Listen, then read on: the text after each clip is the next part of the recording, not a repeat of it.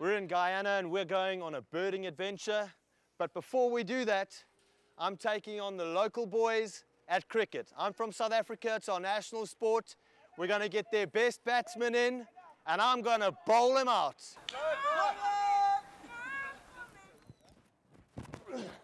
Oh! That's a great shot. That's fine, four balls, and he's doing fine with a beamer. Okay, I'm gonna try and hand it batting. Where are your bowlers, man? These guys are too good. I haven't managed to ball them out and try my hand at batting. That's a spin. The best in the world.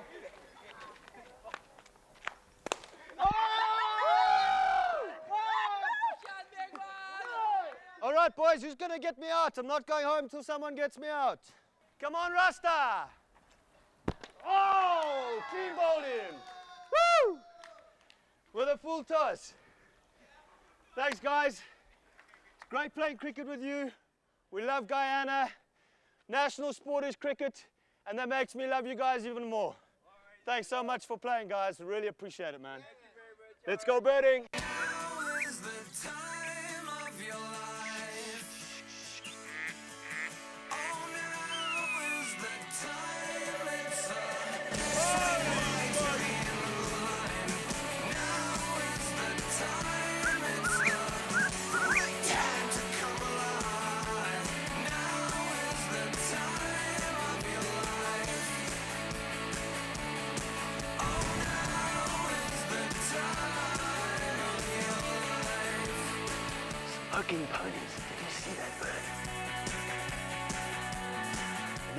Perfect habitat for this bird. Yeah.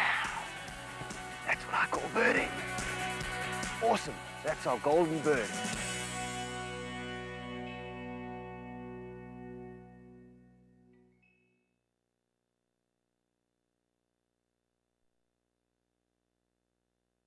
Welcome to Guyana. We're going to find some incredible subtropical birds, neotropical birds. This is going to be awesome. We've just flown in on Caribbean Airlines. We've landed in Georgetown, Guyana, and the adventure begins right now.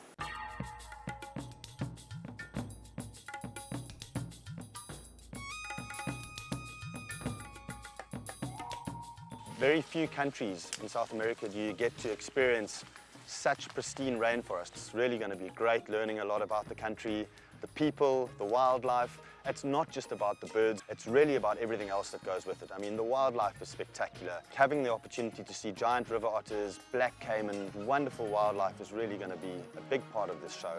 You know, I was always really excited to head down to Guyana to find the numerous parrot species that the country has to offer. On our journey through the country, we literally found dozens of parrots. I mean, we found everything from parrots parakeets to parrotlets. There are over 28 species of parrots that have been recorded in Guyana, and one of the best places to view these parrots is right in the botanical gardens in Georgetown. We were amazed to find several different species feeding in one tree. Festive Amazons, yellow-crowned Amazons, orange-winged Amazons, all in one tree, along with red-shouldered macaws. It was just spectacular. These gardens have so much to offer, and it really was a great introduction to the birds of Guyana. Got a red-shouldered macaw on the top of this tree here. There are five different species of macaw that have been recorded in these botanical gardens. This is one of the smallest species. What an amazing bird. Parrots are superbly adapted to feeding on nuts and they've actually got bills which aren't attached to the forehead so they're able to exert heavy, heavy pressure with those thick bills and to husk nuts and to break them open. These red-shouldered macaws love this tree. It's an ite palm and they husk the fruit on this particular palm tree to get at the nut inside. Amazing red-shouldered macaws. There are three species of parrot in this tree right now. We've got an orange-winged Amazon, we've got a festive Amazon, and we've got the red-shouldered macaws, all in one tree. They're feeding on the seeds of this tree, which is called by the locals a pinwheel tree. And it has got these wings on its seeds, which allow it to disperse by wind dispersal so that the seeds disperse far away from the parent tree. And what these parrots are doing is they're taking those wings off the seeds and eating those seeds. So these are the seed pods of this pinwheel tree. You can see how they've got the wings which allow them to rotate when they fall to the ground, but both of these have been eaten by the parrots. You can see how they've broken through the side just to get at the little husky seed in the middle. And this is what these Amazons are going wild for. Look at this parrot flying into the tree. Beautiful big Amazon parrot. This is one of the speciality birds of this particular park. It's called a festive Amazon. It's got a crimson red blotch on the front of its head. Bright, bright green parrot. Big Amazon. Very, very special birds. Now, Amazons have been targeted very, very heavily for the pet trade, and they are pretty much all over their range, threatened by habitat loss and by the cage trade. Great to see these birds still thriving in the middle of a city like Georgetown. That is one of the species here, smooth-billed ani. It's commonly known as the Jumbie bird. It's called Jumbie bird because Jumbies in local folklore are the spirits of the deceased. And it is believed that whenever these birds are around in large quantities, somebody has died or is about to die. So that is why it's called the Jumbie bird. I hope it's not us. It's just folklore. It's not actually true. It's just a belief that has been passed down from generation to generation. So no need for you to be worried. You'll get back in one piece. You know, there's something really fascinating about searching for rare birds and on this show, looking for some of the amazing parrots in Guyana, we're searching for a really, really rare species of parrots, one of the rarest birds in the world. And before we left Georgetown to embark on this amazing adventure and this great search, we decided to head up the coast a little bit to look for another fascinating little bird called a blood-colored woodpecker. And this woodpecker is endemic to the Guiana Shield. It's found nowhere else in the world except for a narrow strip along the coast in this area. And we headed up to a place called Abary, a beautiful river that enters the ocean, and we looked for this little woodpecker and managed to find him fairly easily. Right, stop, here he is, guys. Right close to the ground, very close to the ground. He's working his way up that trunk. This is incredible. Look how close he is. He's probably only, what, 12 feet from us over here. Look at that beautiful red back. Tiny little woodpecker. This is incredible. Right here, in this little mangrove forest here, we've got a blood-colored woodpecker. Yes, amazing little bird.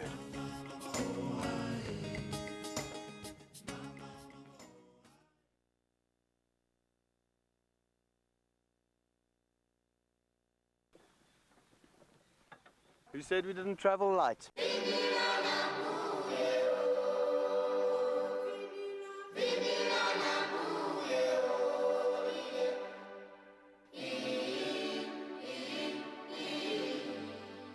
We've landed in Annai. Now Annai is the center point for us visiting a whole lot of other areas around this region. We flew in over pristine jungle. 80% of Guyana is covered in beautiful rainforest. Here we are, we've arrived at Annai at the Rockview Lodge, and look at this place. Hammocks, a cool swimming pool, beautiful beds, mosquito nets, paradise in the middle of endless tropical rainforest. Now this is what we're talking about, and this is really where our adventure begins. After Rockview, we embarked on a journey to look for our golden bird for this show that was something out of this world. It was incredibly grueling. What was supposed to be probably a five, six hour trip turned out to be an eight hour off-road adventure as we try to make our way to a little village called Karasabai. There were places where, I mean, the road was just non-existent. We were trying to find where the road was again and going over big boulders, down what we call in South Africa dongas, which are big dips. And it was just an adventure of note, trying to reach this little remote village. The journey along the way to Karasabai was really, really beautiful. These big open areas, reminiscent of the Serengeti or the Masai Mara of Africa, where there were just plethoras of birds. I mean, we saw jabiru storks, there were lots of heron species, we saw snail kites, lots of different raptors, peregrine falcons. There were just birds everywhere. It was really, really great. And along the way, driving there, we were really in for a treat. As we were driving along the road, a giant anteater crossed in front of our vehicle. And I had the opportunity to get up close and personal with this amazing, amazing animal. We've just been driving along, we've got a giant anteater right here. The wind's blowing in our favor, I'm gonna see if I can chase it and cut it off. There he is there. Jeepers, look at him go. He reminds me of an ambidextrous Captain Hook running through the grass. Their front claws are very sharp and hooked, and he uses them to tear into termite mounds. And let me tell you, you don't want to get too close to him lest he tears into you. Giant anteaters have a great sense of smell, which is not hard to imagine when you look at their noses, but they've got bad eyesight, which is why you can easily get close to them if you're quiet and on the right side of the wind. Guyana has got to be one of the best places to see this primitive beast. This is the largest anteater in the world. It can grow up to six, seven feet long, and it is one of the most endangered mammals in the world. There are less than 5,000 giant anteaters left, and we've just got up close and personal with one of them. This was a fantastic experience, and what a sideshow to birding. Birding's not just about the birds, but it's about the incredible wildlife of destinations like Guyana. After a six hour drive, we finally arrived at Karasabai. This place is one of the remotest places I think I've ever been in my life. We're on the border of Brazil, along the Ireng River, and we're here with our good friends George, who let me tell you is one of the best 4x4 drivers I think I've ever met in my entire life. If there were prizes for four wheel driving, this man would win it hands down every single time. We're with Sydney, who's been a great guide and a great host. Sydney's here to try and show us this really special parakeet along the river. And out of nowhere, they've rustled up us this amazing meal. We're eating bully beef or corned beef mixed with sardines and onions on crackers. Now, that is just ingenuity at its best. at times like this, it is fun to see how you, you know, you, you you're not uh, disappointed. You, even if there is disappointment there, you don't show it. You just uh, make us feel that things are working, and that's that's the spirit when you go looking for birds. And it was a wonderful experience sitting down with these great guys, sharing a few coldies and some stories, and planning our exciting adventure the next day where we were going to search for our golden bird. Great company, great friends, great food, and great times. Thank you so much, man. And tomorrow the parrots. And tomorrow the parrots. Yeah.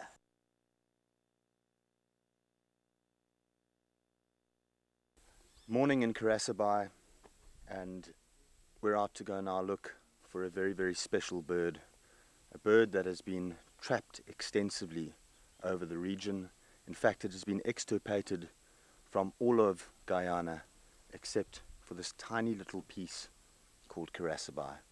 Karasabai sits right on the border of Brazil along the Ireng River, and it's been a pleasure to meet with the Toshao of the village who has welcomed us and who has explained to us how important it is to look after these birds and to prohibit trapping.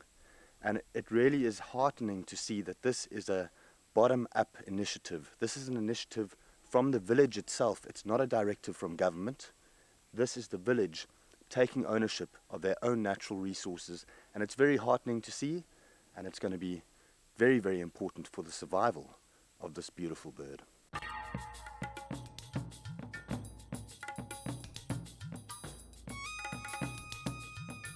It took us a long time to find these birds. I remember sitting, we got right to the end of pretty much as far as we were going to go up the river and still had not seen the birds anywhere. And I remember saying to Sydney, my goodness, Sydney, we've got up too late. You know, we've been delayed too much. There's no ways we're going to see these birds. If I know birding, you need to find them early in the morning. And Sydney said, no, just wait. Let's give it another go. Let's wait here for a little while and then let's make our way back down the river. And as we started making our way back down the river, I'd already lost hope. Trying very hard to stay positive here. Eventually, Sydney just shouted out, look, there's something down there. And we looked far in the distance and there were these bright, bright yellow birds flying in the distance on the forest and we found them. That was one of the most amazing experiences of my life, to find one of the rarest parrots in the world, the sun parakeet. Beautiful. Yes! Sun parakeet.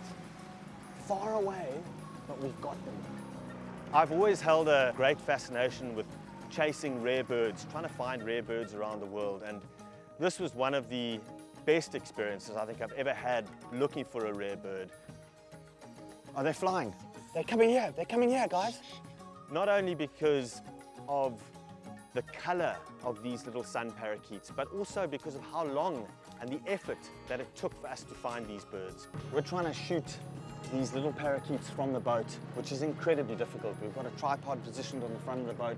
We're now going to try and get our cameraman onto land where we can set up the tripod and try and get better shots. These little parakeets tend to move around a lot. Flying into one tree. They're never feeding in one tree for longer than five minutes. And then they're flying off to the next tree, working their way up the Ireng River on the Brazilian side of Guyana. There's a nice flock of them. We've probably seen 20 sun parakeets right now. It's believed that there's possibly as few as a thousand birds left in the wild. That is 2% of the entire population that we're looking at right now in the wild. Very, very special. In recent years, they've had a drastic decline in their population. It's believed that there are probably only about a thousand sun parakeets left in the world. They've been extirpated from much of Guyana, much of the entire Guyana region, in fact, and they're only found in little pockets in Brazil and along this particular river. These little birds have been extensively trapped for the pet trade, and they're more commonly known in the pet trade as the sun conure. They make great pets, are talkative and super friendly. And because sun conures in captivity in the US today are originally from Guyana, there is a chance that we can reintroduce some of these captive birds back into the wild. But let's hope that this is not necessary. It's been a drastic, drastic loss to have lost such a huge population of a bird that was once, 20 or 30 years ago, very, very common in this area.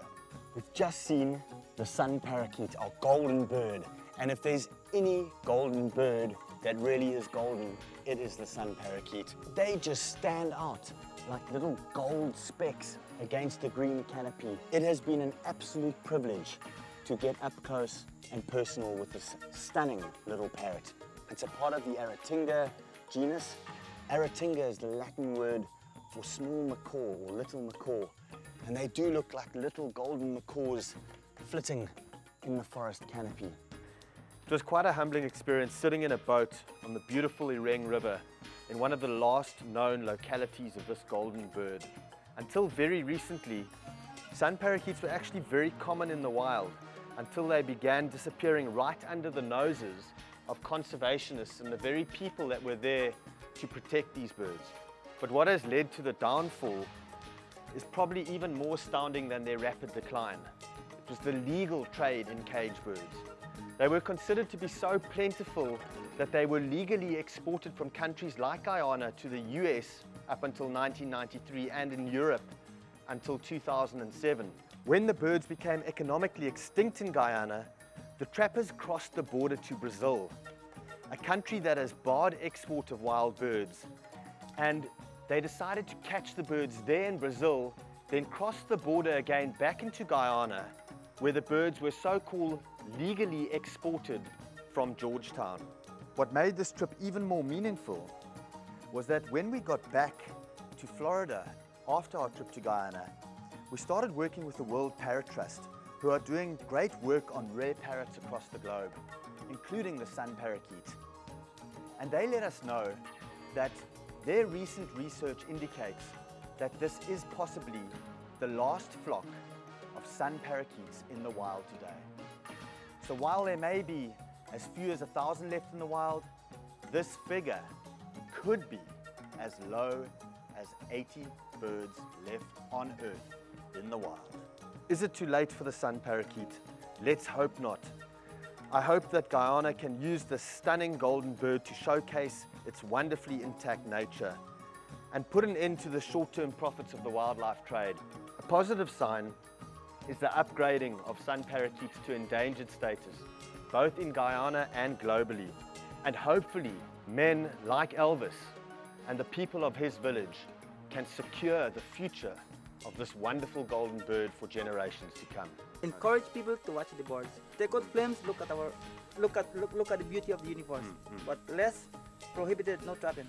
You know, Guyana is synonymous with the legend of El Dorado, the lost city of gold.